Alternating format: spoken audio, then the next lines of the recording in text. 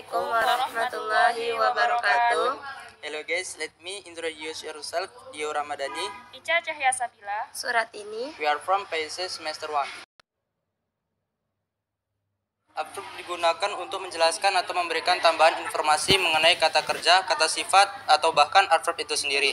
Artinya, adverb bisa disandingkan oleh kata benda, kata kerja, dan kata sifat. Biasanya kita menggunakannya untuk memperjelas kata di depannya atau memperjelas adverb itu sendiri.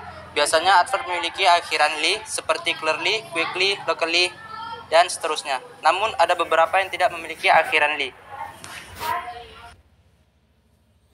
Time merupakan kata bantu yang digunakan untuk memberikan informasi tambahan mengenai waktu. Untuk lebih mudahnya, adverb digunakan untuk menjawab semua pertanyaan yang diawali dengan when. Apa saja contohnya? I really go to the movie theater since the ticket price went up. I can finish all of my texts and go home early. My brother will study after he finishes dinner. Eh, sekarang kita masuk kepada adverb of manner.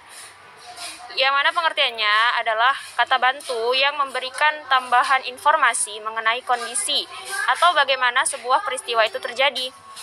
Nah, secara sederhana, adverb ini digunakan untuk menjawab pertanyaan dari how yang termasuk dalam adverb ini yakni badly, beautifully, better, bravely, carefully, fast, hard, quickly, slowly, dan sebagainya.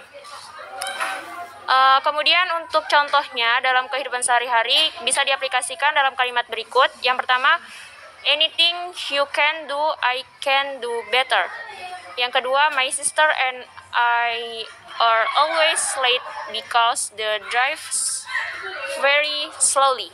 Kemudian untuk yang ketiga, she paint the whole scenery beautifully.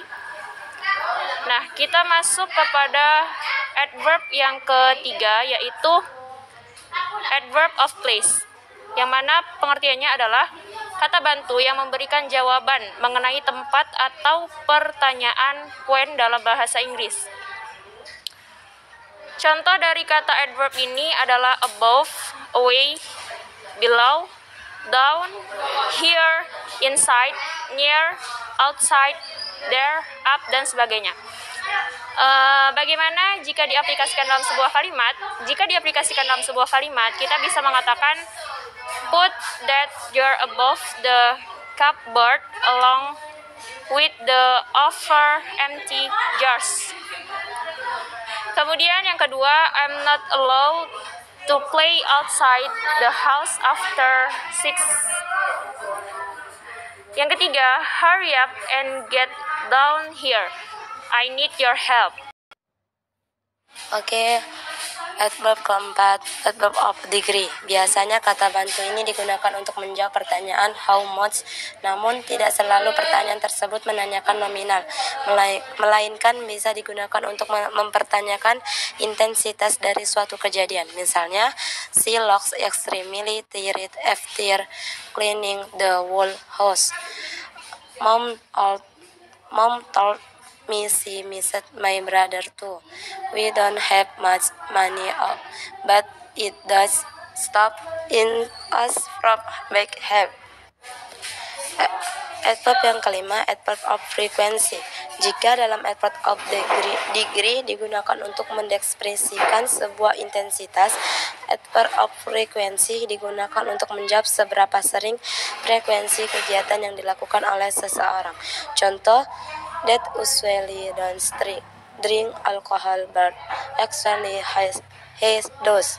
I rarely, I participate in family or ox- auction because I don't have any friends I can talk to.